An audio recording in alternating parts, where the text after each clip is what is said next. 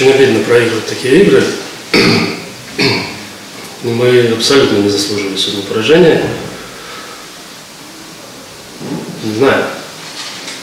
Мне напомнило вот сейчас плей-офф хоккейный, да, просто ровно такие моменты закопал в ворот. Мы не забили. Хотя моментов создали не меньше. Коллеги, вопросы? Можно, пожалуйста, Гомельская правда, Егор Гавриленко.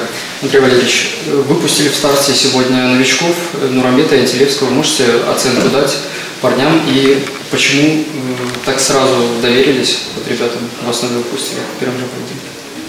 Но мы их брали, чтобы они играли. Это во-первых. Во-вторых, они прошли хорошую предсезонку в Шахтере. Вопрос по функциональному состоянию абсолютно меня не волновал. Гризович, да, он, наверное, не готов еще играть 90 минут, но он тоже здорово вышел. Коллеги, еще вопросы? А, Михаил Протов, белорусский футбол. А, Сегодня провели первую игру без Данила Селинского, который был отдан в аренду Минского «Динамо». А, Как считаете, было ли сложнее сегодня без него Да, играть? конечно, с Даником нам было бы легче. Даник был у нас как целеобразующий, что ли, игрок.